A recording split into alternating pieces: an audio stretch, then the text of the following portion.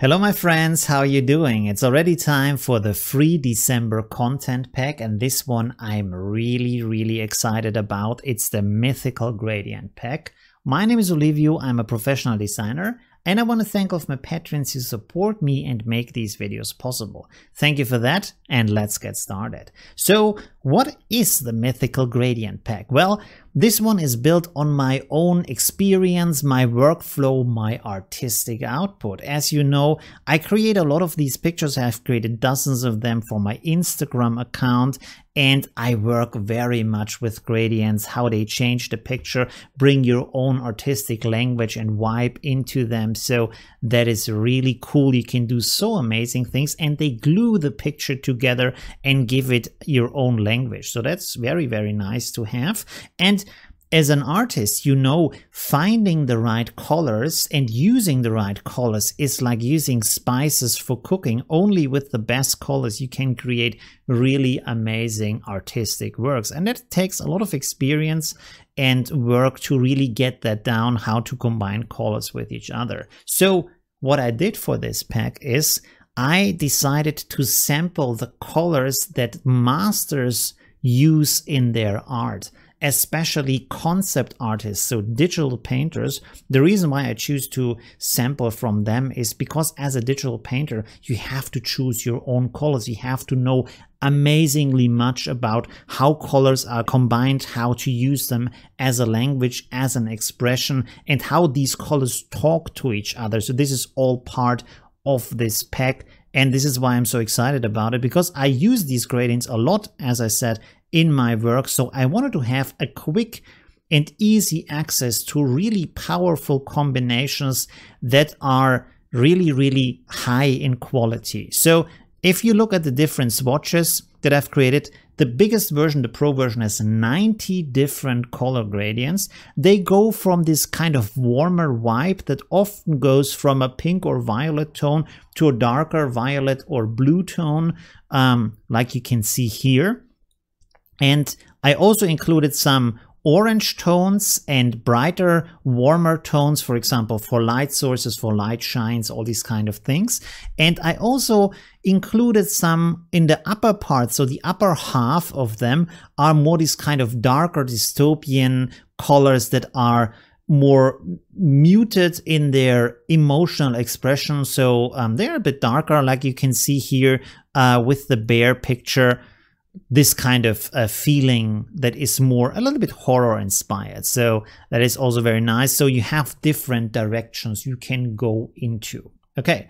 And Another thing I want to point out here is that the packs include an online course I created specifically for this pack. So I show you how to install the gradients and how to use them. In the course, I'm talking about the use of linear, of directional, and of radial gradients. I talk about how to create a light disk with shapes uh, to create a really cool atmosphere in your picture, how to use different blend modes to set up this mood in the picture, also how to create a gradient map out of a gradient. It's not as easy in Affinity Photo, but there's a workaround. I will show show you how to do that.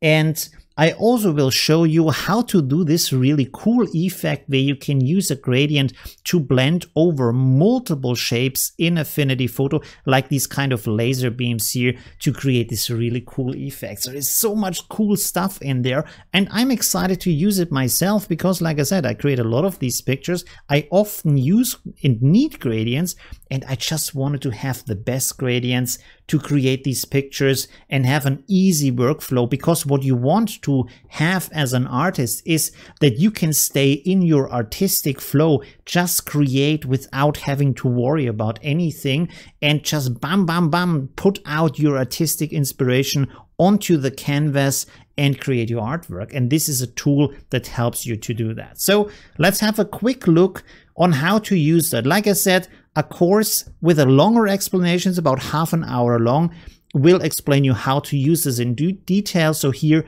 I'm going a little bit quicker than I would in the course. So we have this picture here. It's already very nice. It's a really cool picture, but let's give it our own artistic spin. This is what this is all about. So I'm going to create a rectangle here over all of my canvas and I will set this to soft light. You can see this already changes the look. And oh, by the way, one thing I want to point out here is I included 90 gradients in the biggest version and they are linear, but I also created a version that is radial. And the reason for that is, I will show you real quick. Um, let's set this back to normal. One second.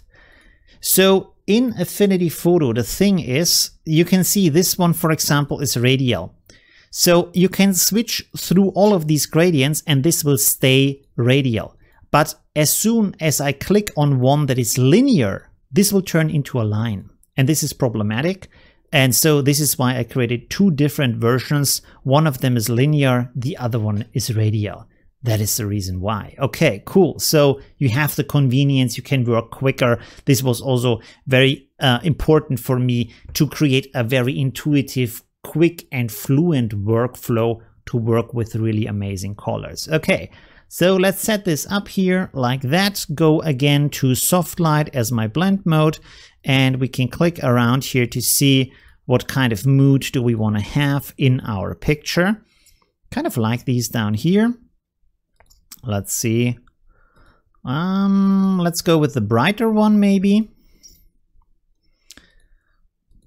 Yeah, like that is good. And you can, of course, um, readjust the direction. So I can put this in the other direction. So the pink light comes from the front. We have the blue light in the background. So that's very nice. So this is already very nice. I want to add something more because I think there's a little bit missing on the left side here. Where does the light come from? So let's create a light source real quick. This is the light disk trick that I really like. I use it very often in my works, uh, not just for light sources, also for glowing eyes, all these kind of cool things. Uh, so let's just create an ellipse here. And this time we need a radial. Um, gradients. So click here on all these mythical gradients radial. We will select, uh, let's say this one here. Change the, we actually don't need to change the direction here. Let's go like this.